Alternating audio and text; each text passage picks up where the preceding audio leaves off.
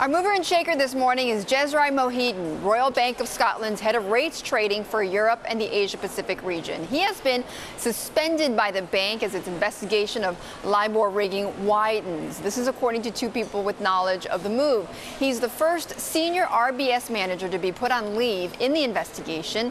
Those people said that Mohideen was suspended on Friday after Bloomberg News reported that he instructed colleagues to lower the lender's LIBOR submission back in 2007. Mohideen did not respond to email and telephone messages today. He has previously denied he pressured anybody to submit false rates. And as you know, uh, 12 banks have been named in a lawsuit here in the United States by U.S. homeowners who say they were hurt in that LIBOR rigging scandal. RBS is one of those banks uh, being targeted.